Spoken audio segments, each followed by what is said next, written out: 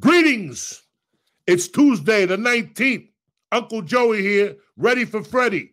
The check in is brought to you by Liquid IV.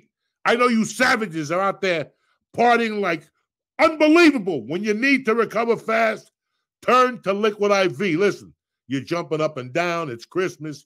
You're drinking eggnog with Taminka juice in it. You got this, you got this. You need to stay hydrated. Liquid IV gets you hydrated two times faster than water alone, and it even comes in a sugar free. Let me tell you something. They launched three new flavors the white peach, tremendous. The green grape, out of this world. The lemon lime, it's like Gatorade and heat. And all three of them will set you on fire after a long night of jumping up and down and doing other things. You know what I'm saying? I've been there, but I'm not there anymore. Now I drink liquid IV keeps me alive in the morning. You understand me? After a cup of coffee, I drink a little liquid IV, a white peach. I put that thing in it to help me out. And boom, no gluten, soy, dairy, or GMOs, and no artificial sweeteners either.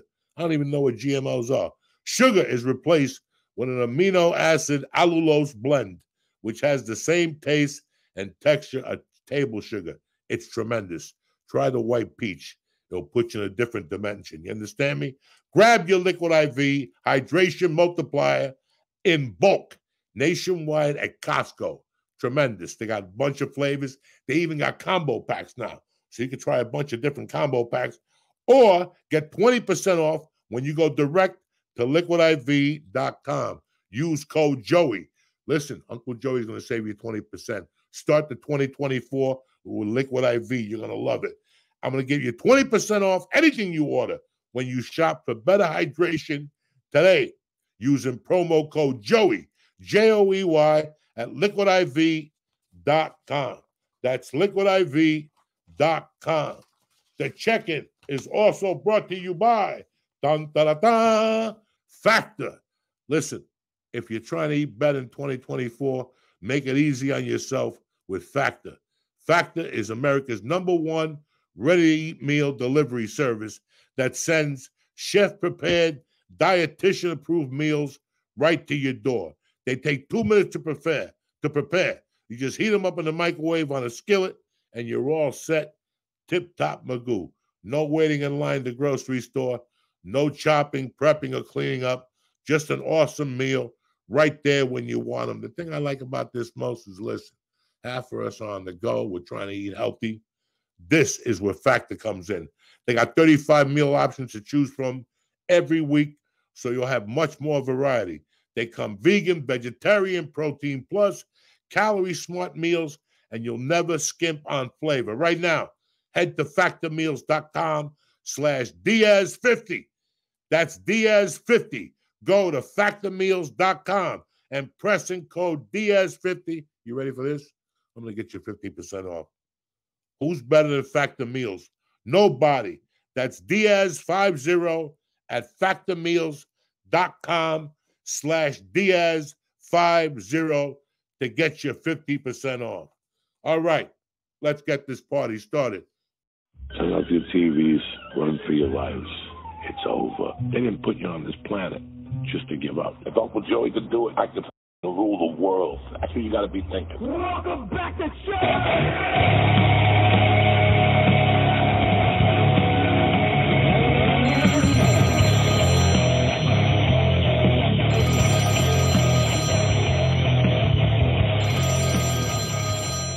The lighting looks different. It looks like a greenish and a blue today. You know how we do it, Doug. We're trying to diversify over here. You know what I'm saying? how was your day, Tarzan? It was fine. You know, I'm fucking. It's a big difference. Like you talked about, you would talk about going from, you know, being on the road to being at the store and the stuff dying. For me, it's I'm having the most fun the weekend. Like it's it couldn't be more fun doing two shows a night, and then I go back to like day job on Monday. Like, ooh, it's it's very different. Very So yeah, Doing comedy the whole time, you're thinking about quitting your fuck. You're like, why am I going to go back on Monday? It's the, it's like a surreal world that you live in when you're like a in between, because you can't really quit your day job to MC. Right. You know, so but once you start featuring, you gotta shit or get off the fucking pot. Yeah. And you have to decide about the job, and that's when you look at your budget. You look at what's coming in, what you're expected to come in, what's in your bank account. You know, do I need a fucking Corvette? Not really. I just need a Nissan. I could sell that. You know, when I started com, like when I got serious about comedy, I, I, I had nothing. I was coming off a divorce. I was, I was basically fucking living from day to day. But I knew that like I had to have my apartment went from like 980 to $400. Like everything got cut, you know. The phone, you don't need it. A cable TV, you don't need it. When you're doing comedy, you just don't need these things. And that's what forces you. It's like to get good at comedy for like two or three years to get into the rhythm, you have to force yourself. It's like a prison. You go to work, you go home, you eat, you write, you go to the gym, then you go do two open mics, and then you go home. And then on the weekends, you know, you fucking work till Friday, and then you, and it's hard. It's fucking hard, man. It's hard to balance both. And at one point, you're gonna bust, and one day you just walk out of the office. I wouldn't be surprised. It's just, and it's not like I actually my day job is not bad, but it's especially weekends that where stuff goes well, and like the shows are fun, and then like you know, being, I've always the the, the road has is always like so romantic to me. Like just the idea of like being in a hotel in a city like I've never been to. It's just it, like it, I don't. It just sounds awesome. So it just like it- the entire thing is fun. like I, to me, that was the allure of it. I like to Yeah. travel. I like the, but it was weird going back into like for me. I have to remember, I took a job and I was selling cars, and he he took the he made the job flexible enough, you know, and it was working. I wasn't I wasn't becoming rich, but as I, I w- I was at least you know keeping the lights on. But then things would happen to tell me this isn't what I'm going to do anymore. Like I get a sign from God or whoever the fuck it was, mm-hmm. the comedy gods. Like I, you know, I would always have like the last two salesman jobs I had, the cars blew up. You know, Like when you were driving them.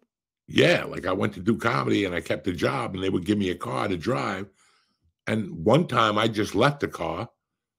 One time I got stuck in a brand spanking new, and it was for Bert's manager, Judy Brown, Bert, Sebastian's manager.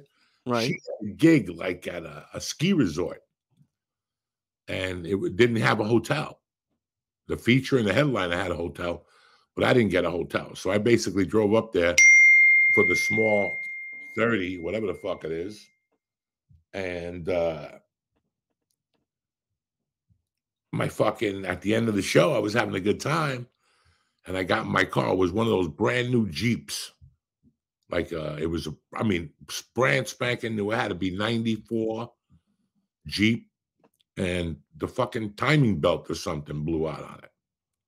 Jesus. That I, I I asked I was talking to Josh about that this weekend about like if like your car breaks down on the way to like it just I get anxiety about stuff like that now. Uh, I'm gonna get into an accident. It's gonna happen. It's gonna happen. Oh, you know. And then one night was the time I told you I went up to like Wyoming, and the guy had to leave because his wife was cheating on him. And on the way back, the car started going on fire. The car mm. just lit itself on fire, dog, on the road. It was fucking snowing. We had to walk like a mile in the snow with our little bags, overnight bags. I never heard Wow. from those people again. Like that car just blew up on I 70 somewhere. And I never heard from those people again. It was just, it was, and I and I would go home and go, I wouldn't even be upset. I just knew it was a sign telling me to go for it. And I wouldn't go for it. I was such a fucking pussy. Like I always wanted that. Well, I had child support. I had a, you know, I had a bunch of fucking things. I had an addiction. I had child support. It wasn't like I was putting it into my house, like painting the room or nothing. I had an apartment. I never turned the stove on. I ate all my three meals out. And I snorted coke and I fucking paid child support. That's what I was gonna ask. Like, because you're a very organized person, I can imagine you writing a budget with coke And Did you ever like budget coke into your like expenses? In those days, hell yeah. I had a, month, I had a monthly stipend for it. Because why lie to yourself? Right. I wasn't going to lie to myself. I was putting away like anywhere from 150 to 300 a week in those days. And I was broke. And I was fucking broke. Just, you know, selling coke, selling a, an ounce of weed. I'm just putting it all together while I'm doing comedy. Bro, in the beginning in LA, I think till 2002 in LA, I was doing creepy shit, you know. And now here I was at the comedy store. I was selling pounds of weed to agents and, you know. So you got to do what you got to do, especially like even back then, it probably wasn't a lot of money, but features make at most usually, unless the headliner is very nice, like a hundred bucks a show. Yeah. So if you got five shows and no hotel is a feature, which is the status quo now, right? Yeah. They don't want a fucking hotel now, you know. It's it's you break even, so you need another job. It's uh, it it's very scary to think about doing it. So, but like that's because I've been thinking about you. I think about like the stuff we talked about on the church a lot, and something I forget who it was. I also I was listening to another podcast, and the podcaster was talking. A comic was talking about like do, doing a vision board on like New Year's Eve. So like I've been trying. I've been working on something like that, like a plan, and a, like, do you believe in any of that stuff or not really? Because you, you take a plan very seriously. I know that. Of what? Like, uh, I'm sorry, I like just got this is my. Oh no, that's okay. And I couldn't. The, the the message wouldn't come up on my fucking phone, and I knew he was going to hit me back. So, but anyway, I'm very sorry. A vision board. No, just just like a plan for like the next year. So like Always. I have a plan. You have to have a yearly plan, a six month plan, and a three month plan, and a 30 day plan. And that was me, you know, that was what I did, you know. Uh, people, I just saw Sebastian the other day on a podcast talking about how he never wrote his goals down. And he's one of the biggest stars in comedy. So who the fuck gives a fuck what I think? What I'm saying is everybody's different. Everybody reacts to different things. I wanted to see my efforts. I wanted to make sure that 15 sets was done. Like you could do whatever you want, Joey. You could do whatever you want. You could snort coke, you could stay out, but you got to give me 15 sets a month. And then it, the numbers became higher and higher. And then it got to 30, 35 sets a month, you know? Yeah. And I think, I'm sure, like, I, I don't do it. I'm sure there's a lot of comics who don't do it, but if it, it obviously worked for you. So that's why, like, I'm trying, that's why I like listening to comedians' podcasts because I, I, I try to get little things of what they do. And especially the ones who have successful podcasts are doing something you, right. You sat there with me for years right. listening to other comics' fears, their goals, how they did certain things, whether it was writing. Every comic brought something different to the table. Every musician that we had brought something different to the table. I got to be honest with you. The guy I learned the most from in all the years of podcasting was Rudy Sarzo. And I still confer with Rudy for big decisions. How's Rudy? Because Huh? Rudy's fucking How, great. I talk to Rudy once a week, though. That's my brother. And uh, I, that's great. And he still, I see, I see him on Instagram and Twitter all the time. So what is? I'm sorry for interrupting. What was he? Why do you take so much from him? Rudy gave us something on every episode, and whether people took it or not, I loved when people would hit me up and go, "Why do you put Rudy on there for?" And I, I didn't give a fuck. Rudy always has a place to speak with me because he's not just a bass player. He's an artist and he's got 50 years in. So whatever stupid story you got, don't match up to him. You know, he woke up on the bus one day, a plane went down, it was his fucking best friend, you know, on a fucking tour. What do you do on a Saturday night? Whatever. I don't know if it was a Saturday when he died, Randy Rhoads. But not to, he taught me the, the most important thing I ever learned from anybody in comedy he taught me the words labor of love. In what And way? Like, what- That changed my whole career. That changed everything for me when I heard those words and days later when it sank in. What we do is a labor of love. They pay us for traveling. They pay us to have to deal with fucking people talking to you in your ear. I want to go to Monaco with you, whatever the fuck they're saying. That's what you're getting paid for. When you're performing, whether it's a violin, whether it's a harmonica, whether it's comedy, whether it's spoken word, it's a labor of love. You're giving yourself away, a piece of yourself away. If you're not doing it for the labor of love, go fucking do something different. Go do something different. And that's how my life was when I first got into comedy. It was all a labor of love. I didn't give a fuck about what you were paying me. Oh, you're gonna pay me 50 bucks? Perfect. I could eat that, you know. And and then it became something else. And then it became a financial, and then I didn't like it anymore because that's why I enjoyed the book signing so much. There was no money. They had to buy a book for 20 bucks. You know, they're gonna get it anyway on Audible or whatever. I didn't want to charge you to take a picture or to fucking shake my hand. You know, I didn't want to charge you 20 bucks to the book signing. I wanted to be there. And if you noticed, I was on time to all of them. I brought joints for everybody on all of them. I wanted, that was a labor of love for me. There was no money involved. Listen, I'm, I'm, not, I'm not in the mood to take on a microphone tonight. And I'm not in the mood to answer questions, but I got two or three minutes for you. I wanted to talk to them because when I did stand up, it was just a stupid fucking picture. That's not really a contact point. I learned a lot from those fucking book signings. I learned a lot about myself. Now I got to see do if it transfers over to other things. what did you learn about yourself with the book signing?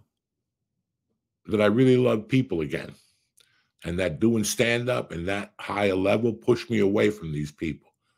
That that's not what I ever wanted to do. That's why I didn't. I never saw myself in a, an arena or a stadium. I never saw those things. One of the one of the greatest memories I remember hearing is that Gabriel did like three shows on Christmas night, Christmas Eve at the at the Jon Lovitz Comedy Club. And I heard that the last show he took them all to fucking pancakes. He Right at took Denny's. them all to fucking uh, Denny's. Yeah, yeah, yeah. You heard the story Yeah. you know, that's something that fucking lasts forever. That's something that I wish, you know, and every time I had an opportunity to do it, like during the pandemic, it, it fell apart on me, whether it was getting a movie theater to show the fucking many saints in Newark, the Patreon people, which I'm happy, you know, now looking back. but it taught me that again. That's why I just I didn't want like when I did that last show in New York in January with you, right. I knew I didn't want to get on stage a long time. I knew it that night. Like I'm fucking getting out of here. And it wasn't a Sony Hall. I love Sony Hall. I love Right. it. It was it was I just did not want to do it anymore. And until I fall in love with it again, I won't I'm not I love doing this thing with you on Monday nights. It's no pressure. I don't give a fuck if we're on the Apple top 100. I don't care if iTunes don't like it. I don't give a fuck if YouTube don't like it. Guess what? The only one that's got to like it is us.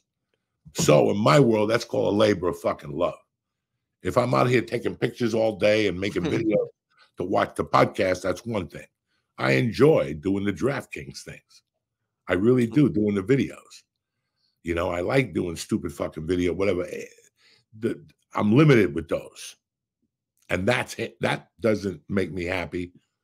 But back to the what we were talking about, Rudy taught me. You know, I learned from Ralphie on there. I learned from Theo Von on there. I got a bunch of lessons from those things. where you looked at people and you're like, really, you did that? That was very interesting to me back then. You know, when we were doing the podcast 2015, 16, it was really great. You know, it was a fucking bad for me and you because we were destroying our bodies. We had fun. I mean, we had a blast, but it's yeah, it's just the knowledge. Like that, uh, that's one one of the reasons I love podcasts. It was a labor of love. We were doing it with no rule book.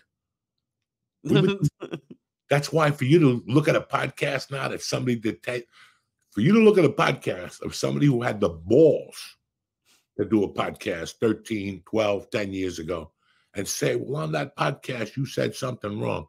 I want you to remember one thing there was no rule book. There was no rule book on YouTube. There was no fucking rule book. So, and it, oh, and it's something that, that I think gets talked about a lot. And it's, it's the people who came to watch didn't have a, like, it, it's, people might look back at it who weren't church fans or that it wasn't for them and they might get upset but it's not like it's not like we got a bunch of hate back then no there was no rules right acid church nobody nobody takes a head of acid and does a fucking podcast for four hours all right on a sunday night with fucking people calling in and duncan sending pictures of dirty people and you know no there was no rules and it yeah. It was a labor of love. I think for like a year, I was getting robbed on the ads because I didn't know how to read the ads. So I would just read them every show, and they were only paying me for one read. Uh, and they're like, Your sponsors love you. Yeah, because I read them every fucking show for free. It was like a year. I didn't know what I was doing. I was a fucking idiot, but that's crazy. It was a labor of love. It gave us a window like now to just connect, fuck around, and if you're in, you're in. If you're not, take a chance. Columbus did. Take a fucking shuttle. I was thinking about about that time today because would. I don't remember the exact day. I don't know if you. I wonder if you do, but it's around now that you recorded. It's either you or the priest. It's right. right it was right before Christmas. Yeah, right. We released it in January. Yeah, because yeah, I remember the ten years ago, eleven. Yeah, uh, might even be more than that. Yeah, might have 2012. It's about yeah. You know what I was thinking about before? I was watching the fucking news before. This afternoon it was raining terribly. I made a video of me and Gray eating a piece of cat uh, pizza. I saw that. Dog, she tears pizza fucking up. First off, Gray tears anything up. The only thing Gray really don't like is shrimp. And she's a fucking cat. And yeah, she's not make sense. She doesn't like all the fishes. But Gray will eat pork fried rice. Gray will eat fucking Szechuan beef. Gray will eat fucking cheeseburgers. If you leave Gray alone for two minutes and walk away from your dish, she will jump on that table and at least try your shit. And you got, I get mad at her, but I don't. You know? Do you do you do you put it like on a separate plate for her, or you or you just know that she's gonna go after your I, I first of all, I know she likes salami. Right. She loves prosciutto. she loves wet mutts. Like, you know, she loves fucking ham. Won't eat cheese. But boar's head, deluxe ham, she will tear that up to shreds. Okay. And I love her to death. But that cat eats everything. Remember, I picked that cat up on the streets. And she wasn't feral, she was half feral and fucking, you know, she was living in somebody's house, but they got dogs and she couldn't go back into the house. So she had to live outside. When I met that cat, that cat was about three. And I was amazed that that's the longevity of a cat who lives outside is three years. I befriended her outside in the street. She walked me home. And I played with her outside and I had treats for my cats. So I brought them down for her. And one day she just scratched the fucking door and my cats went crazy. And, you know, the neighbor, the owner of the cat told me, she goes, I got to be honest with you. You should just take her because she's your fucking cat. You're her dad. I could see it. She fucking follows you. And we brought her even back here. I mean, she's been with us now for, yeah, 11 years. But the last two years, she's really come out of her fucking shell. That's great. When I wake up, she follows me down here and she jumps on my lap while I'm on the computer. Well, you had to keep her separated, right? Like you had to keep her like in your room or something. No, like she wasn't. She didn't like anybody else. When we first got her, She was like, fuck you bitches. I don't like you motherfuckers at all. Okay. and she lived in a house with like seven cats that fucking hate her. And she would walk to the kitchen in front of them and they would go like, what the fuck is that? Look at it. She would walk real timid and eat her food and then walk right back to her little hiding spot, always facing them so they couldn't attack her from the back. She always laid against the wall. She was very smart. And she got into a couple beefs with like two of the cats. The girls fucking hated her. There was one there was one girl I had that I gotta tell you, broke her heart. She didn't last long after that. She did not like her in the house. Just the fact that she was there, she didn't like it. Nope. Wow. Did not fucking like it.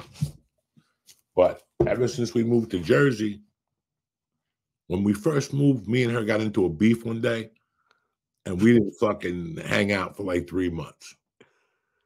Over what? How do you get into a beef with a cat? I don't know. I went upstairs one day. I laid on the bed. And she didn't like it or something. And she scratched me. So I pushed her away. And then she bit my finger. Something. It was something like, what the fuck, Greg? But we had just moved here. She was in shell shock. She was like a Vietnam vet. So, you know, she's sleeping on my bed. I can't see at night. I got no fucking carrots. I walk back to the bed to, and I think it's my sleep apnea machine. So when I put my hand out, I, I pushed her and she fucking swatted at me. And I'm like, great, what the fuck? And then, so we didn't talk for like three or four months. then fucking, it took me a year to get back in the good graces. But I I got farther with her in that year than I did in like eight or nine years. Wow. So she sleeps with me. She sleeps in between me and my wife. You know, she fucking once we go to breakfast, once I get coffee in the morning, she sleeps on top of the heater for a few hours. And once I come to the office, she comes right down here and she's by my feet, meowing, purring. And then I'll leave for the day. And now she actually waits for me by the garage. And if I smoke dope in the garage, she follows me outside to the garage. It's a trip. That's awesome. That's crazy. It's a trip, man. Especially so many years. So you guys were eating pizza and watching the news, you were saying. So I came home today. I had to go to the doctor at 10. I went to the gym for a little while and I had like a half hour break. And I was sitting down here. My wife came down with two slices of pizza. And she goes, Did you eat lunch when you were out? And I go, No, I'll take a slice. I mean, I'm not, I don't feel like going to a restaurant or anything. But I did see something. When I went upstairs to go to the bathroom, the pizza case was upside down by the door. We were going to take it out, whoever goes out next, take the garbage out. And she was already sniffing at the pizza box. So she knew it was, she's Mm. fucking smart, man. So as soon as my wife came down, she came down after my wife. My wife goes, "Go to the back. I have to go upstairs and get get something to drink." In that time, she jumped on the fucking chair with me and just started chomping. I'm there was a piece of cheese sticking out of the side, and you know, crispy pizza and fucking Old Bridge is back. They opened up after the fire. I didn't know. I went up to jujitsu last week and I saw the sign. So when I went Sunday on the way back, I called my wife and there was some kids here, and I go, you know what? I'll bring a pie for them. I didn't even eat the pizza, but when I opened it up, it was cheesy, Nice. like it was just an extra cheese pie, crispy to the max, like only they could do. And fucking, uh, I didn't eat that day.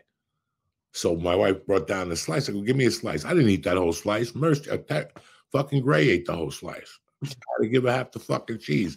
I got like the crust and a little bit of the middle. That's fucked up. She eats that much. Then she eats a can of cat food. She eats a can of cat food at night, and she'll follow me around throughout the goddamn day. The cats are interesting. Animal, listen, animals are interesting.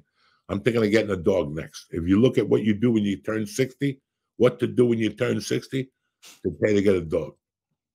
That's awesome. Another German Shepherd. Yeah, but then I got to walk it. I got to figure out my leg situation and my knee situation. I don't want to walk a German Shepherd on fucking roller skates or a skateboard, or I got to tie him to my fucking stroller like a fat fucking old fuck, and he pushes me like mush. You know, I don't need that either. What are you gonna do? You know what I'm saying? I want to know the people who donated to Black Lives Matter Why? because I need a big, I need a big envelope. I don't want to work no more. you th- we could start you a GoFundMe. No, I don't want to go fund me. Why? Like Cuban lives matter. Yeah, but how are you gonna get the word out? Dog, if any, if I can't get the word out, you ain't gonna get it out. You know what I'm saying? I got connections. I can spread the word. We'll buy wraps and little boat for Cuban people and bring them here and give them more dignity. But I'm not looking to bring buy wraps. I'm looking to fucking score 10 million first. Then I'll buy a wrap. They get a wrap. I knock down my 10 million. Because I was thinking about me and my wife were talking about. Look at all those people who donate to Black Lives Matters. Those people just broke off, bought houses, and really didn't do anything with the money. In my world, it, it seemed like it was a total scam. And it was I I did see that like there were some people who fucked off with the money. Oh, please. They always do. Even when the Hurricane Katrina, that mayor's doing 10 to 20 in Arkansas right now. He's doing fucking, he's he's helping the Girl Scout make cookies. oh, 10 to 20. So eh, so that so that's your your new plan? Cuban No, Lives Matter? What's that? Cuban Lives Matter? Sure, why not? Everybody should do it. I'm gonna get like a Chinese guy. I'm gonna find the guy from Portugal. I'm gonna find a couple fucking Zambia. Everybody matters. Now send a check, cocksuckers. No guilt on their face. That's what you, it was a perfect scam. They bounced off of guilt. I guarantee 90% of the people who donated to that were white Americans, and like 50 had money and they felt guilty. My grandfather owned a slave. Cut a check. Now the guilt is over. Instead of going out and shaking one's hand and inviting them over to your house. See what I'm saying? Cutting a check is the easiest thing. So they made millions of dollars, billions of dollars. well, not billions, maybe 500 million, maybe. And you only want 10. What? And you only want 10. That's really not that much. Don't uh, I'm, I'm not greedy. You know me. I just want to fucking go to jujitsu and eat Chinese food until they put me in a casket. That sounds like a good fucking life. What do I give a fuck? It fucking rained like a motherfucker here yesterday. I know it's raining up there. Yeah, it's nonstop. Nephew, fucking people lost their power, not me. I got a generator. I didn't fuck around when I moved here. That's the first thing they told me when I moved here. Get a generator, dog. Power goes out. When I moved in this house, the power had just been back for three days. And what is it like gas? Do you have to about go to the gas station and like fill it up? How does it work? You see my wife around here somewhere? I don't know what the no, it's not gasoline, it's electric because it's in the fucking in the board. I love. I, wait, it can't be an electric one unless it charges. Because if the power goes out, how's it gonna work? It recharges every Wednesday by itself. It turns off, the power Oh, house turns off, and the charger takes it over. It's fucking tremendous. that's badass. Yeah, the, the realtor told us, Jimmy Florentine told me, they're like, before you buy that house, make sure you got enough money left over for a fucking uh, a generator. I'm happy I did. But Fuck that's yeah. it. brother. You know what's fucking crazy? A week right now, when we're watching this podcast next Tuesday, that's it. Christmas will be over. You motherfuckers will be out with your little cash card, spending money, going to comedy shows, walking around New York City, dying to get mugged. You know, because next week is big in New York City.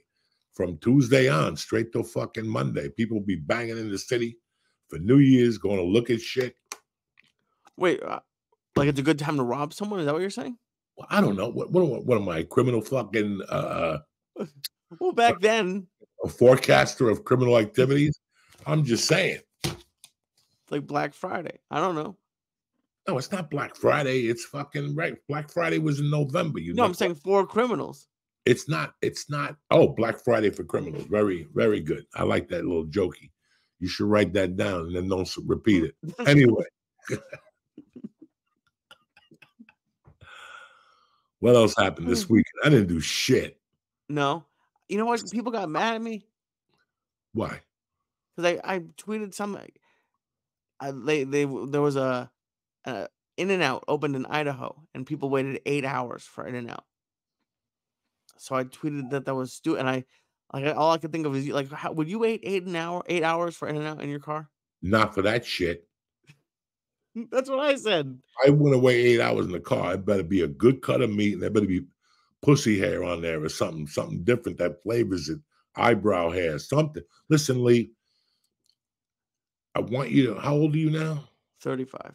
I want you to, because you came up at a different time when I came up. When I was 35, it was a different fucking world. And not right now, you're coming up in a world. It's so weird how everything is a fucking gimmick and you don't see it. Like Lee, we had our office, what, 100 yards from In and Out? Not even, yeah. You know, we went to the comedy store. There was one on Sunset. I remember during the pandemic, the line I saw in and out was something you'd see for Woodstock or fucking Led Zeppelin at the Garden. I, I I'm not kidding you. It went from Sunset and it went all the way to that street, the big street, and then it went all the way up to Hollywood Boulevard for a fucking cheeseburger that's small. The fries got HIV, and I'm not oh, going to tell you that. Listen, it's it's a it's one of the better burgers out there. Yeah, the burger's great. It's one of the better burgers out there. But before I left, that burger was getting small. It was looking like a White Castle burger, and by now, with fucking Bidenomics, that that that's non-existent. I know the prices went up like a motherfucker. You know, They- that sucks. fact, I just always thought that it was just a tad overrated. It was Yeah. always a tad overrated, and that that was my personal opinion. You know, I'm not a hamburger guy. It's not like I'm gonna sit here with you and talk to you about my favorite cheeseburger. You know, there's so many good cheeseburgers. There really is. Fucking, I'll take you to places around here that the cheeseburgers are brilliant. Brilliant. Like th- three or four places that the cheeseburgers are great. Do I go there every day or once a week? Not at all. Tonight's the big one, Osteria. Sixteen ninety five for a cheeseburger, and they give you a beer with French fries. Are you fucking kidding me? And it's not like a fucking McDonald burger. It's a goddamn uh, sirloin with fucking short rib. You know, these people ain't just making some. Walk in there on a Monday. There's ten fucking savages. That's it. There should be three hundred fucking savages in there. Yeah, you've been telling me about that since you moved there. so people, it's like a big gimmick, man. Like when you look at things, you're like, I lived there. I was down the block from there. I never got it. It it's like when I think the biggest disappointment is that hot dog place on La Oh yeah, yeah, Pinks. It- it's it's it's total garbage. But for people to get off a plane to go there, it breaks my heart. It breaks you my heart. Did you ever go to Sonic? I went to Sonic in uh, Tennessee. and maybe I'm getting the wrong stuff, but I remember when it opened here in Massachusetts, I was in high school, and they had to shut it down because the line was going to the highway.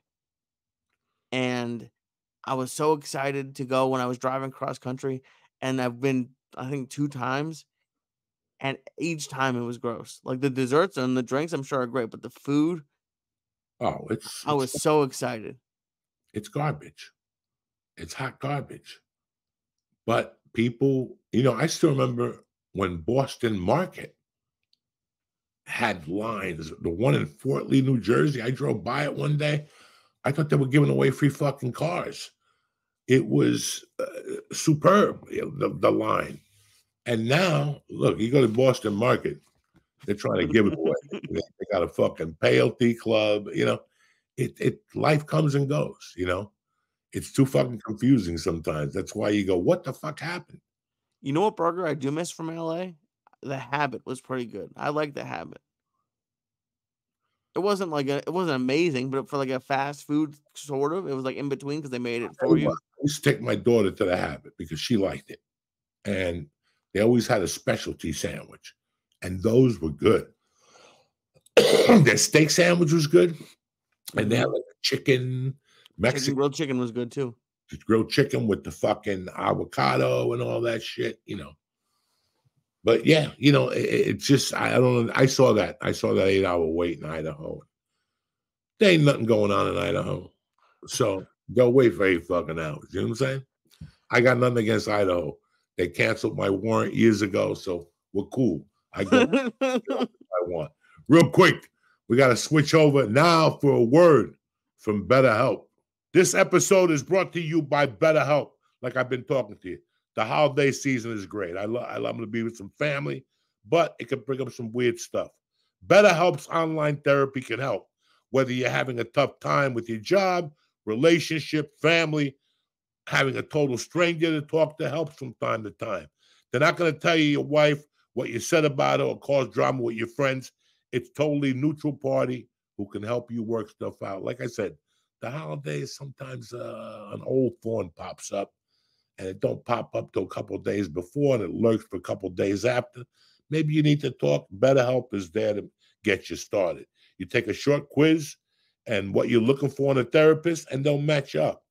It's totally online. They got therapy through video call, phone call, or even message. Whatever works for you, BetterHelp is there.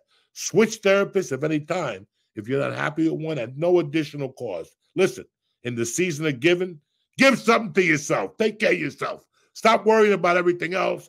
Stop worrying about what's going on all over the world. Listen, do me a favor. Visit betterhelp.com slash Diaz today, D-I-A-Z, and get 10% off your first month. That's betterhelp.com slash Diaz. Ha ha ha ha ha. Contact BetterHelp. You won't hear that voice ever again. and now back to the check-in. We're back like herpes. Anyway, BetterHelp is going to help you out these uh, next couple weeks. Always taxing, so you know there's no shame in calling BetterHelp. So do what you do. I'll help you out a little bit. You know, whatever. You'll save on tissues. That's it. Anyway, what's up with you, Tarzan? What are your plans for the holidays and fucking uh, you know? Oh, What it's you- gonna be a it's gonna be a fun week. I because my mom was gone visiting uh my brother and he, he just had a daughter a year ago. So she was gone for Hanukkah. We haven't done Hanukkah yet, so we're gonna do that with uh Athena and her kids. Then we got new uh Christmas Eve, which I Christmas Eve as a kid was everything for me as a Jewish guy because I we got invited to a family friend like an Italian house, and like they had someone dressed up as Santa every year. And we got gifts. So Christmas Eve is going to be fun with my family, and then Christmas Day will be, you know, six in the morning. I love Christmas. It's so much, for, especially for a Jewish guy. Christmas is a, 'cause it was, it's so much better than Hanukkah, and it's, and I love Hanukkah, but especially as a Jewish kid growing up, and you see all the Christmas shit, that's all I wanted. So like, I wake up before the kids do. I gotta be honest with you. This Christmas, I'm very fucking excited. That's awesome. been this excited in Christmas in a long goddamn time. And for tons of reasons. Like it's just the last two Christmases I haven't been settled. I didn't know the scoop. But in my mind, like I would spend those fucking misery Christmases in LA and um, I couldn't wait to get back here to go like to your house at six. I go by fucking Florentines at eight o'clock. And then, you know, Florentines are going to go to church at nine. So from there, your parents invited us all for a cocktail at 10. There's going to have be some food, you know. I, I fucking sat there in LA and dreamt of those. And then I moved here and it's like, it's not like that anymore. People, I think the, uh, my, my, my, my brother, Dan Florentine, he always has a little something, you know, and you go over, it's understood. You go over there from eight to nine. Maybe he's got fucking Cavatelli. Maybe, you know, who knows? But it just, they felt emptier like than the ones I had in LA. And this summer, when I went to Nashville, you know, I really got to meet my nephew and my niece and, you know, my other niece. Like, I knew my older niece, but I didn't know the two younger ones. And I'm like, man, this will be great to come here for Christmas. Mercy, you know. So I'm going and I'm going to have a fucking great time. My brother Mike's coming up for the week to take care of the cat. He's going to stay here. I'm going to leave him an ounce of weed, you know, leave him the car keys. And then uh, I'll be back five days. I'm only going for five days. I'm going to try to train jujitsu in Nashville. I'm going to try to see my man at Zanies. I'm going to try to see Jelly Roll. And the rest of the time, just hang out with the girls, man. And then That's come so back here, come back here and just prepare for 2024. We got to drop it like it's hot. We got plans for these people. We got shit crack a lacking for these motherfuckers, you know? So that's my plan. I'm sticking to it because I got no reason to lie, you know? A lot What of action coming up over the holidays. I mean, I didn't know this. There's three fucking football games on Christmas Eve. Is there really? Yeah, and I think there's Wow. a game on Christmas Day. I haven't I- even looked. They're on Saturdays now too. I just saw that Yeah. this weekend. the next couple weeks, man. You got the end of college football, you got pro basketball. You know, there's just a lot of shit going on, so you won't be bored. You know, listen, when you go to those family reunions, you end up watching sports anyway. Oh yeah. There's some of the men go in one room, the kids come in. You're either watching football or golf or tennis, whatever the fuck you like. And uh that's it. It's very fucking- non, there's not much going on for 2024. I got a couple fucking things I'm gonna do in 2024. And part of that is just to to get to get some action going, brother. I've been in central Jersey for three years, just uh, you know, trying to put the pieces together. Now I'm ready to percolate. I got, love it. I got a plan I- like Stan. I'm excited to see what happens, dude. Is how does how is like Mercy feel about Christmas? Is it still big for her? No, she don't believe in Santa Claus. Well, oh, well, She don't. okay, Her but friends she, don't say nothing. right. She figured it out. She went to the mom and said, "Knock it off. I ain't writing no letter to fucking Santa." It was very interesting what happened yesterday with her. Okay. I had an interesting day with my daughter yesterday. Uh, you know, we get up like at on Sundays. We get up at seven thirty. Blah blah blah. Something happened yesterday. She got sick at church last week, so she didn't want to go to church this week. So there was really nobody around on Sunday. It was really weird. And I was here till 10, 10.30. I had breakfast with them. We were talking, bullshitting. And then I went to jiu-jitsu and then I came back. And I go, what's going on? They were setting up rooms upstairs because my daughter switched rooms. And they were finishing up that. And then my wife came down and it was 2.30 and I'm sitting here watching football. I went over to Jimmy's. Oh, no, I went over to Jimmy's. And I watched the Dolphins for a little while. It wasn't even a fucking game, you know Right. Playing the fucking Jets. And then I came back and I'm like, girls, what do you guys want to do? And my wife's like, I don't know. There's not much going on. I mean, it, was raining already. You know, it was starting to rain. And one of the moms had contacted me and said, You guys want to go out to dinner? And I go, Yeah. But as we're leaving, we go, Yeah. She goes, Oh, by the way, my daughter's not coming. I don't want to take Mercy to sit with four adults. You know what I'm saying? So I go, Right. leave it back here with me. But when Mercy came down, she goes, Dad, no, she goes, and my wife told her she had been in the house so fucking long. And I've been telling my wife since we moved here, my daughter's not that kid you think. She's a fucking thoroughbred. She needs a little action. TV and the computer for her doesn't cut it. And she doesn't need to do much. She don't need to do much. She just needs to. So Get out of the house. Dog, she came down. My wife told her what was going on, and, and Mercy goes, So what am I going to do? And just broke down. She just had tears in her eyes, and she just came over and gave me a hug. And I go, You want to get the hell out of here, don't you? She goes, Yeah, I have to get out of here. And I go, Go get, go get your jacket on. You know, and I, I didn't care about the Dallas game. I wasn't even watching that piece of shit game. I got in the car. As I was getting in the car, I put her favorite music on, that little girl that performed at the garden, Olivia Rodrigo. Right. Okay. I typed it into my phone when she wasn't watching in my Apple. And then I got in the car, started it, and plugged it in. And that song came on that she liked.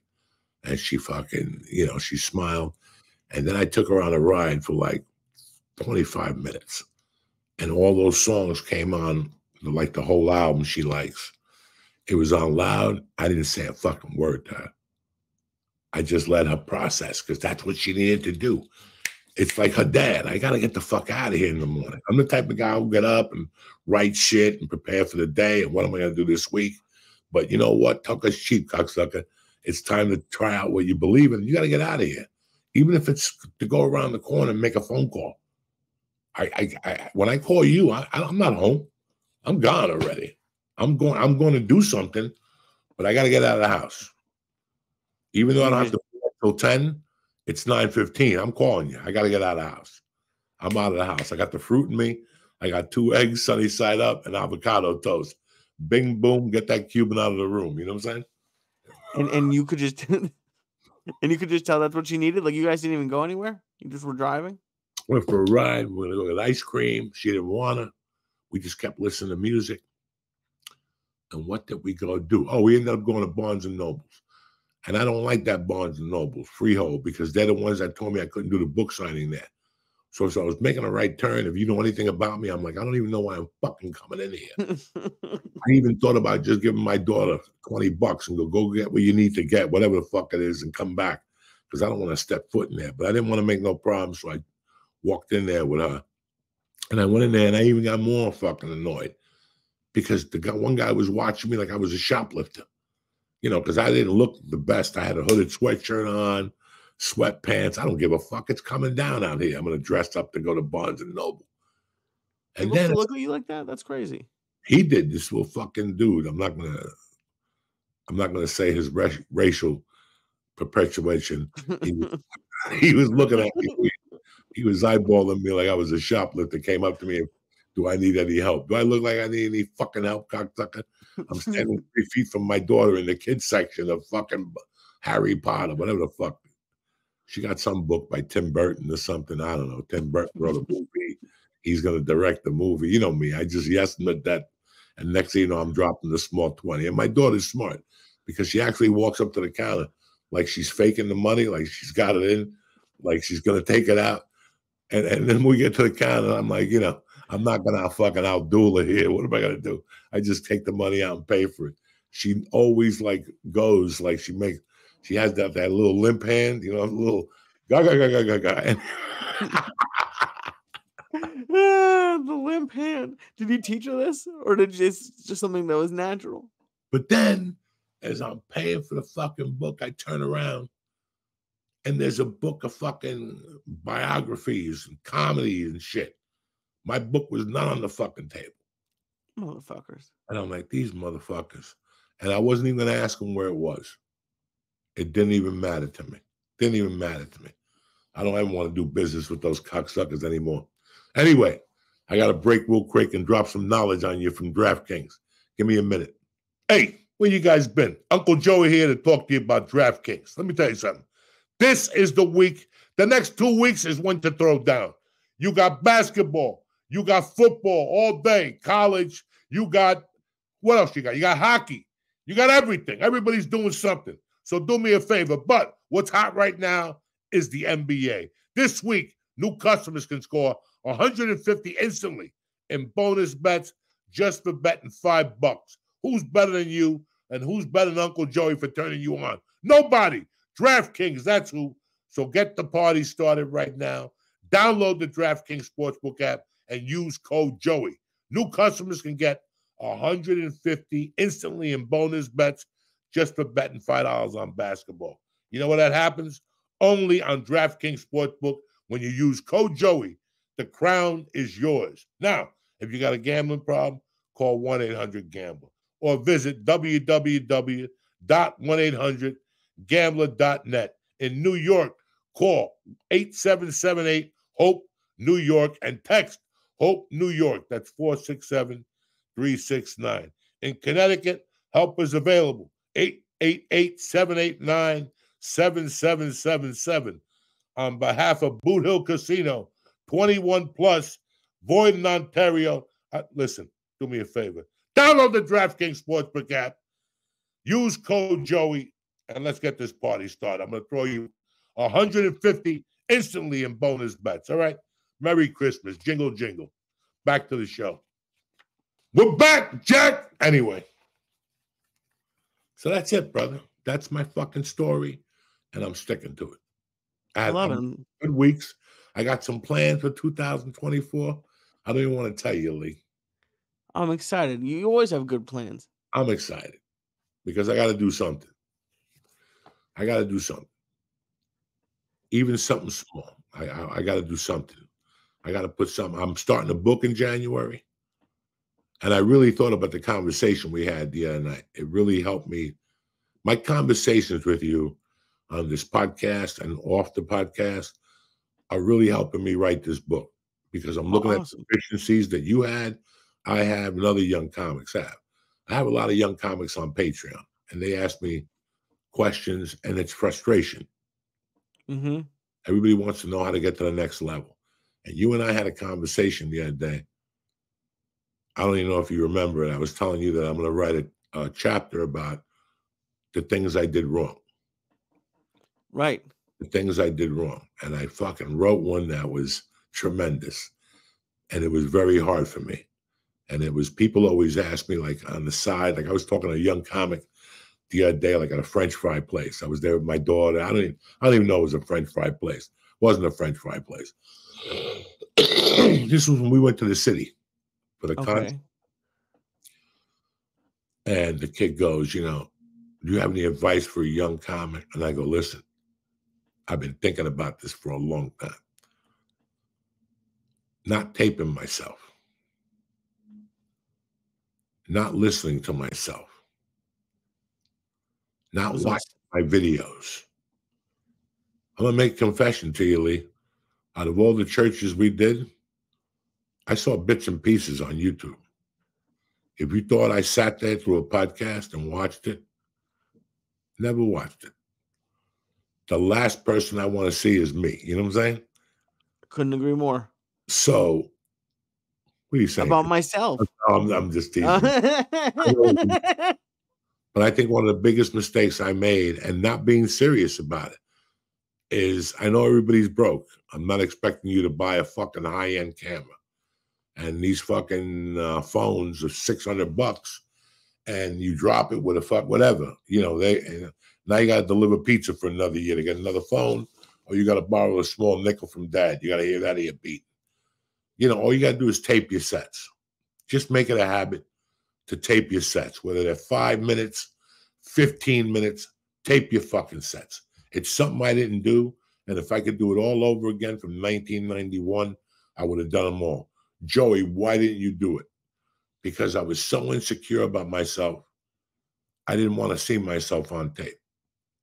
I've never watched a full special of mine on tape. I'll tell you what I have watched because I could, as I was doing it, I could feel it and that was the Comedy Central things I did for Ari. Besides that, I don't watch any of that shit at all, at all. But it was such a mistake for me, and it's such a mistake for a young comic. And you're gonna go, Joey, but I'm just getting started because I want you to build healthy habits. Now, I want you to know that at home, I- I don't want. Listen, I don't give a fuck about your sexual preferences. I don't give a fuck about your drug addictions. I don't give a fuck if you stay out till six doing Molly and jumping up and down. I will tell you what I want from you as a young comic. And is the first thing you do when you go home is wash your hands, jump in the shower, eat a pie, mom's apple pie, whatever the fuck your ritual is. But before you hit that sack, I want you to listen to that fucking tape. Make two notes, just two notes, not negative, positive. For right now, I don't want you to go to bed upset. And then listen to it again in the morning and make your notes. And right there in the morning when you're eating your cereal, make your plans for the next night. What am I going to do different? And not even a plan.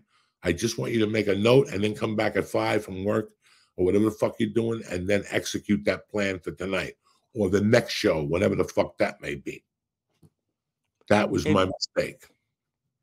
Because you never recorded, right? Like even later on when you had like the phone, no. When we met, you said to me one night, you want me to record your fucking set on the way down to Irvine. And next thing you know, it was a number one fucking download. You know what I'm saying? I know that's fucking crazy that you never did. I That's- recorded. I never, because of my appearance and I was so insecure, that's why I don't like fucking specials too much. I want to listen to you. For me, stand up, I want, if I listened to myself more, I would have been so much better, Lee. It's amazing you were as good as you were and like never listening to it. You just had that like you just have a great memory, I think. because I hated my voice and I hated what I looked like. Like I didn't want to see me on stage. But there was one thing I did believe in and what I felt like on that stage. And I'll tell you, I walked off that stage many a night going, I wish I would have taped that because I wanted to hear what my heart sounds like when I was on stage. I wanted to hear. I love hearing a glass get set. I love those. I came up on the Richard Pryor albums and the Redd Foxx albums, and I could feel the heart coming through the speakers, whether I had earphones on or we were at one of my friends' house, the Specials or Sabatino, one of them, and we were listening to. I love listening to the laughter, and it was real. It was a small club. It wasn't an arena. Nobody was doing arenas. Nobody was doing comedy clubs. There was maybe a buck twenty in there, buck fifty, and you heard it differently. And I always wanted to sound that way, but I knew eh, no matter what I did, it would never sound that way. But I learned listening to the beats. I'm listening to beats. I'm listening to, you know, a beat is when somebody stops, and I'm listening to all these little things. But what I'm really listening to is his heart. That's what I could hear. I can't see it. He's a fake. He's got a bunch of tattoos. He's got a weird hairdo. He's got a scarf on. I don't want to see that. I want to hear it. Somewhere along the line, people wanted to see tape, you know, and that's where I think it's I'm, a, I'm an old man. I want to hear it, even though I can't hear, but I want to hear it. I, I mean, we've talked forever about how much I, I love albums, but it's how do you think like how how did you how did you write if you weren't listening to it? You just remembered like the little changes you would make? Yes.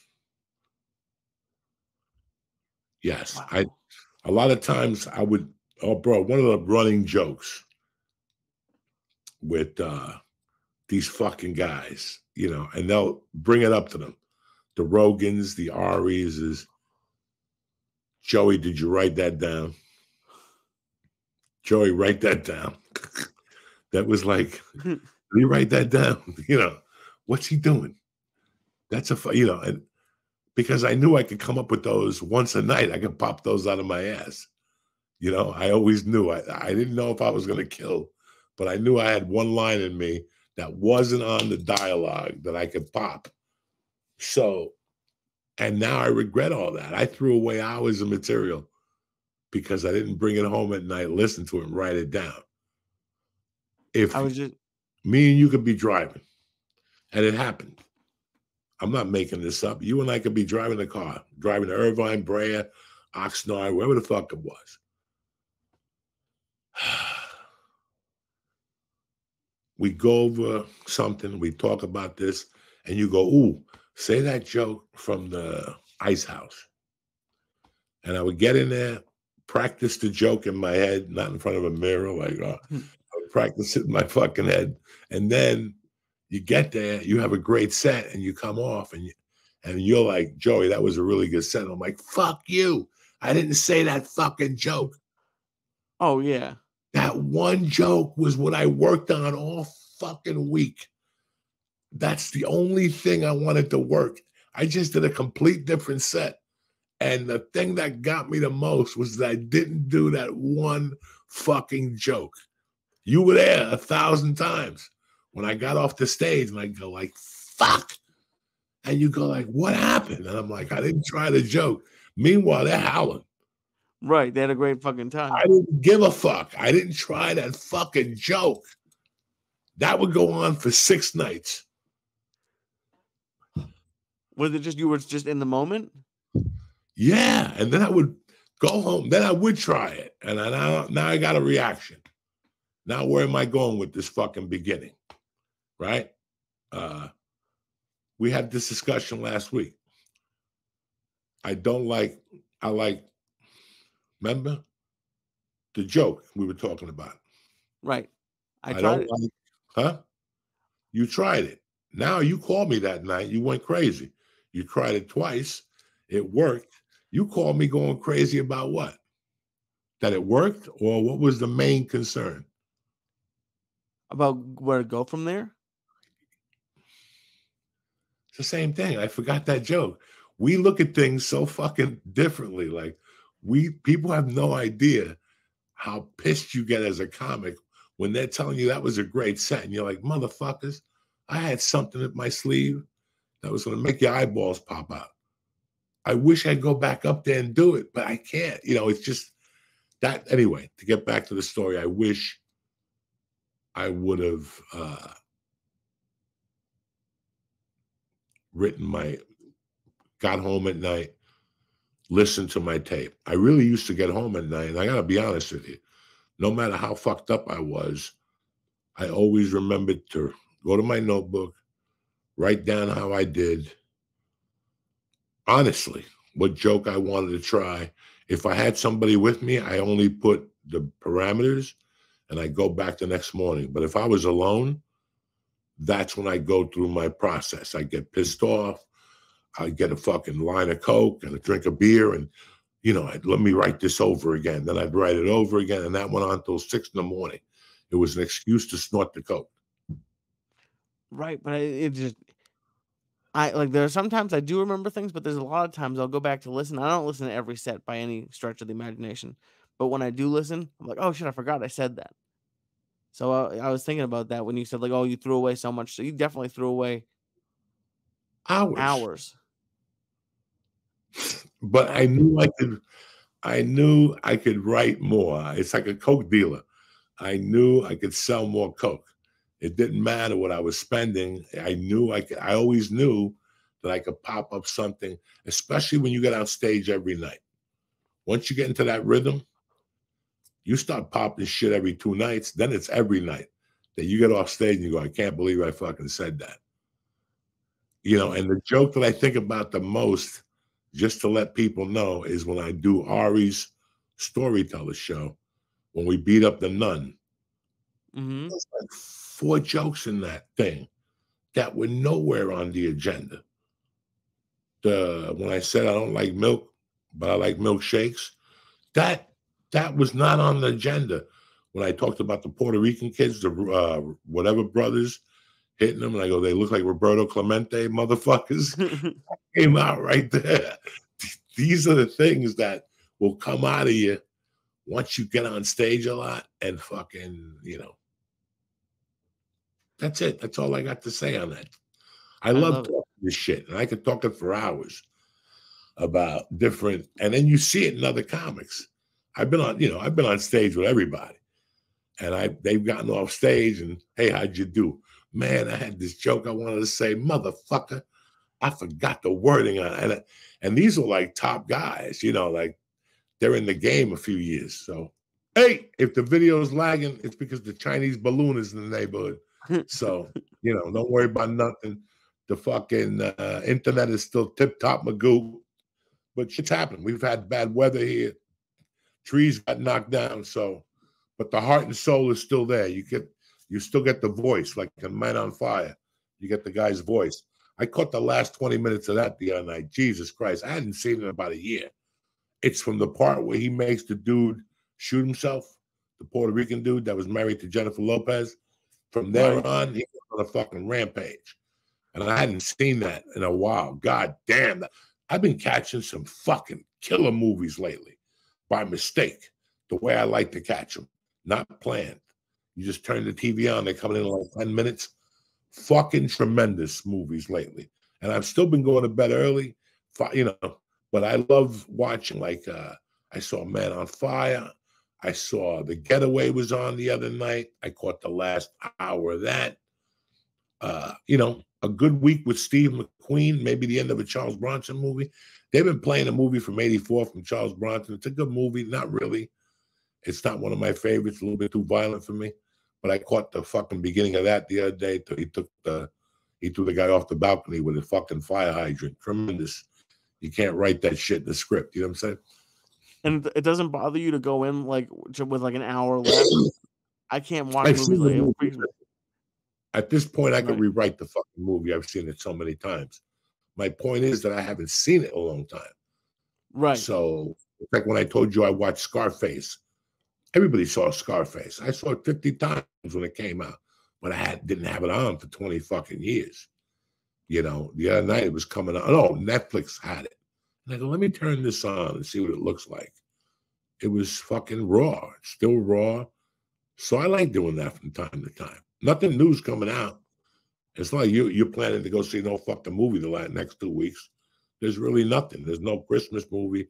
I think I think she's going to see Willy Wonka. I, how many times are you going to make a Willy Wonka fucking movie?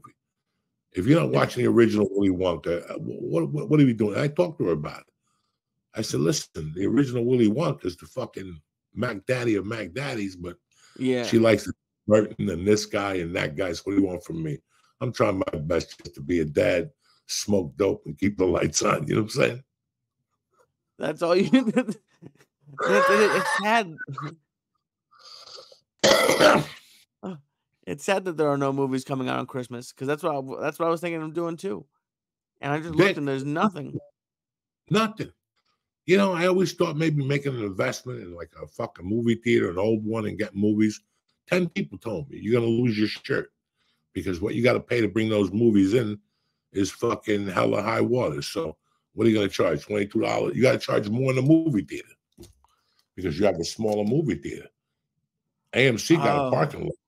I'm talking about getting like a, a 98 seater and showing Charles Bronson weekend, Bruce Lee weekend, Lee Syatt weekend, bringing comics during the week. And you think, and that would be expensive? I thought that's the whole reason they show, had old movies at movie theaters because it was cheaper. Do a fucking Q and A about the movies. Read That some would be shit up. awesome. Everybody join in. That's a Tuesday night club. You know what I'm saying? Maybe Wednesday play poker and have sucky fucky in the basement for some people in the community. You know what I'm saying? Get the priest in there, getting the party started and shit. Sucky fucking for the community. I went to Oh the my heart God. doctor the other day in Eatontown. Okay. And I go to this heart doctor. Like it's a beautiful building. The neighborhood is great, but there's a little alleyway. And at the end of the alleyway, there's a little light that just blinks and says massage. I've been to this doctor six times in three years for checkups, blood work. And every time I go, I park the car close to it just to see if anybody comes out of there or whatever. It's open all the time. So finally, this week, I went to the, when I went that last time last week, I walked in. As soon as the doctor walked in, I looked at him. I go, Doctor, I let me ask you a question. You ever go to that massage and let somebody tickle your asshole with a feather? Dog, he just froze up. This dude. Nobody's ever talked to him like that. Then he closed the door. and He goes, No, and he goes, but I have, but I have thought about it. So Holy shit. You asked your doctor that. you gotta ask him. You gotta blow him out of his fucking whistle. You don't let him know where you stand. If not, he thinks you're an okie doke like everybody else. Oh my god. I think he might like Okie Dokes. I don't think he wants people to ask. Oh my god. What would you have done if he had said yes? what? What would you have done if he says, Oh yeah, I go there every Friday? Oh, give me the code. Give me the give me the ten percent off card. Give me the referral. I don't want to touch nobody. I don't want to kiss nobody. But if somebody wants to blow hot air in my ass with a straw, I'm at that age. I enjoy things like that. You know what I'm saying? I don't want to see you naked. I don't want to touch you. I don't want to talk to you. I don't want you. But if you want to tickle my asshole with a feather for 25 minutes for the small 50, I'm in. How did how did he find out you liked it? What happened? How did he find out you liked getting your asshole tickled with a feather? Who? You. Oh, when I was like 20, I bumped into a chick that was a pilgrim and the party started. Holy shit. Uh, Are you gonna do you, do you talk like this in front of your in-laws? Do you have, like with your nieces and nephews? Do you fuck with them a little bit? um, the, the ones in Tennessee, you know, they're Bible beaters. I love them, but I can't talk like this. And that's my nieces. I can't talk crazy. Mercy, I can talk a little crazy now. She gets it. Listen, urban, this neighborhood talks crazy. So I don't want her to think I'm a fucking quiet boy. That's the farthest thing I am. So, uh, yeah, if it's around her friends, I go off from time to time. I love it. They, they must love you. And I know I've seen them with you, but I went off last night at my favorite restaurant because just fucking every time I go in there, there's like three waiters that are sweethearts, but they always want to talk. And if there's music on and a TV on and the sh- the dining room is packed, I can't fucking hear you. You can talk all you want. And last night, this guy wanted to talk about Memphis. You know, I, I, I got, you know, I was smoking dope since after jujitsu. I think I ate a mushroom cap that looked like my toenail. I swear to God, this mushroom cap Ooh. looked just like my fungi toenail on the right foot. So I was on fire. I wasn't planning on going to the restaurant by no means, but my wife, my daughter finally goes, Dad, I want to go eat something after we went for a long ride. So we went to meet the girls, right? So he came over, you know, what are you doing for the holidays? We're going to Nashville. Oh, very nice. You know, I'm going to Memphis. Have you ever been to Memphis? What are the people like? And I go, listen, what are you talking to me for? Ask my wife. She's from Tennessee. I don't know nothing. And then, you know, I was having like three conversations at once. I'm in this fucking corner. I got Christmas music over my head. Fucking, I'm trying to watch the fucking game. I got the over in the Dallas game. It don't look like it's coming in. I, I, don't know what game. And this guy wants to talk to me about fucking Memphis. And the whole time I can't hear. So finally at the end, I go, Can I talk to you for a second? I I've been coming here for come here. You want to give me a fucking ear beat, and I don't mind. I like everybody talking, but I want you to listen to the music, and all. I'm deaf. Yeah, when you come over to me sometimes, I go, "Don't I have a retarded look on my face? I have a Sometimes. face retarded. When I when I don't know what's going on, and you come over and I'm thinking about something. I'm thinking about what I'm going to eat dinner. And this guy's asking me about Memphis, and finally I, I was like, "That guy, when I come in here, talk to me. But if there's music and shit, it's hello and goodbye. I, I- I can't hear you. You want to come in here? You want directions to Memphis? We were dying to laugh. I don't know how to get to Memphis. Oh, people have no it. idea. I'm fucking deaf. Especially when there's a lot of shit going on. I'm not gonna fucking hear you. I'm not gonna hear you. Would you like wife- kind of? What's that? I said, would you like kind of? In certain situations. Right. Like I went to physical therapy the other day. I almost broke my ankle just to get out of there.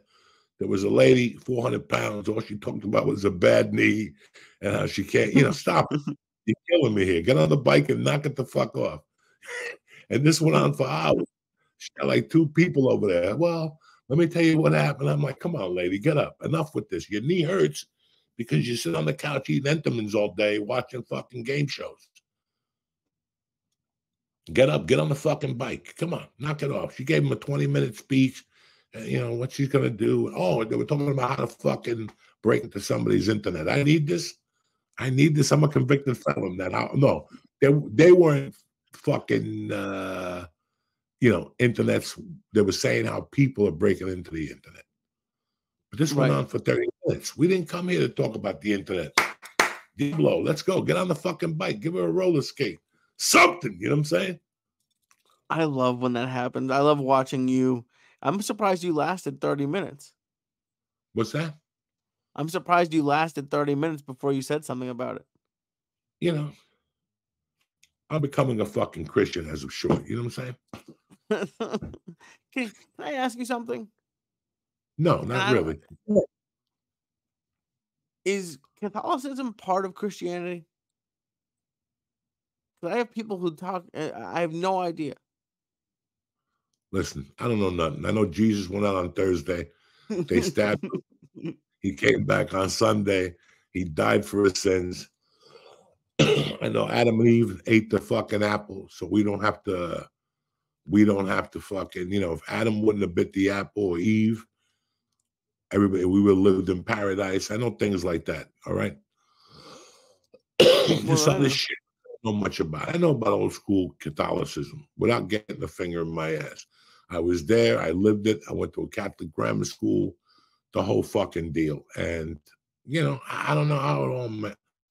I pray to one God. I don't know what color he is. You know, we're all in for a fucking surprise. So just shut the fuck up, go to work and say your prayers and put a dollar in the basket on Sunday. You'll be fine. That's what I'll do. I love it. Merry love Christmas. you, buddy. everybody out there. Merry Christmas to you and your family, brother. We'll talk the next couple days and we'll keep you guys posted on Christmas or what the fuck we're going to do. But for right now, we love you. Thank you for letting us come into your home every Tuesday or your car or your fucking whatever. your ear pods, and thank you for being there for us the last what? Lee, wake up out of your coma. I'm. I, I was. I was listening for the last four months. All right. No, we've been on the air together. Oh well, yeah. To get for us years. for about twelve years. That's crazy. Yeah. And we got surprises for you next year. So get ready, cocksuckers. Stay black. And now for a word from my sponsors.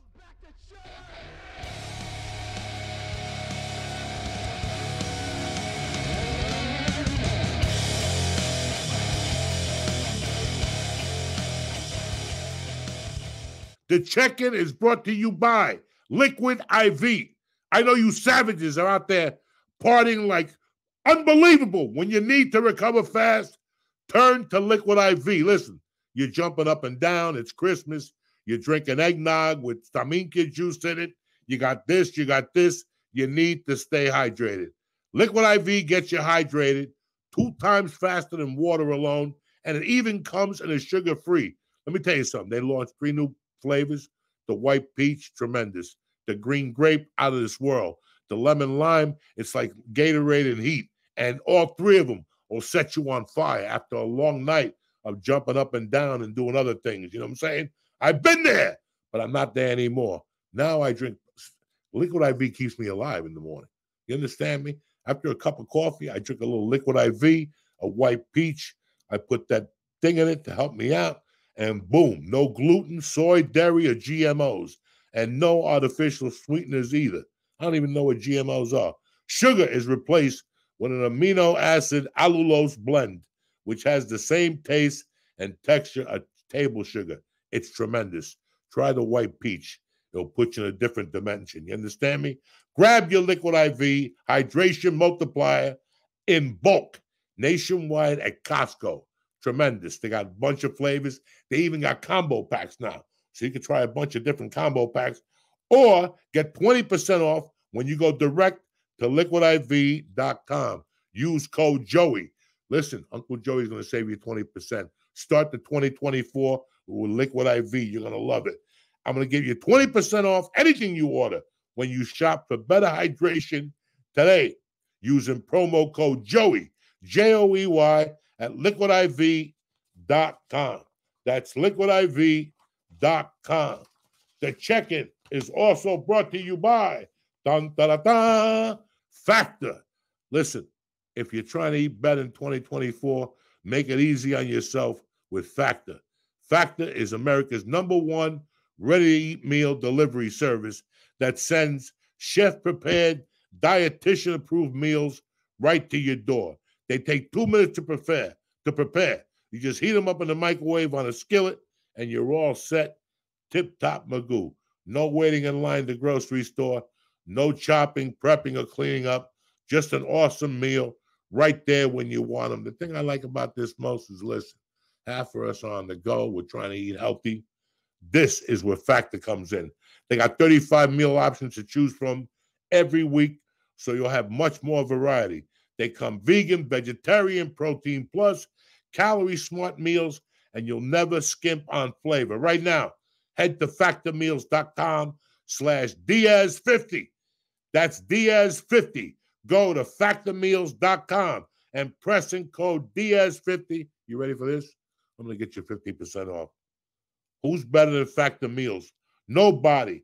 That's Diaz50 at factormeals.com slash Diaz 50 to get you 50% off. All right, it's the holidays. Enjoy.